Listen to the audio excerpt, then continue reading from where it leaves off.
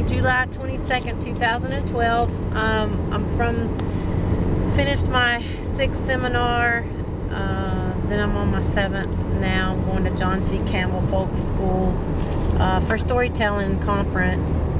I've been in the car for 10 hours. It's 4 o'clock in the afternoon and I'm gonna be there hopefully in a few. Never ceases to amaze me that these websites have cities where these things are and they're not even in the same city. So uh, website says Brasstown and I called and they said oh you got to go to Murphy North Carolina. Heck if I knew how would I have known? Anyway I went out of my way.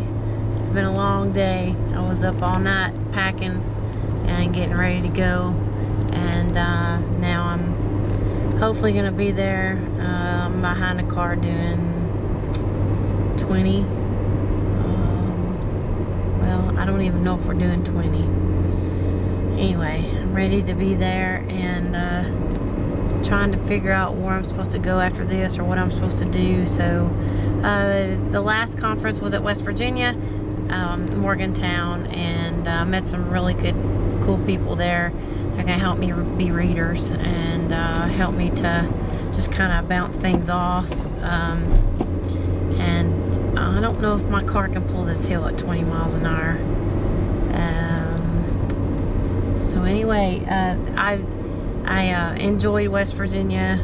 Um, I anticipate that this storytelling workshop is going to be really, really energetic, full of fun. Uh, so, all right. Talk to you later. Thanks. Bye. See ya.